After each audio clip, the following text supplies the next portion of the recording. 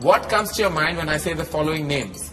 Shah Rukh Khan, Sharp, brilliant. Sushmita Sen.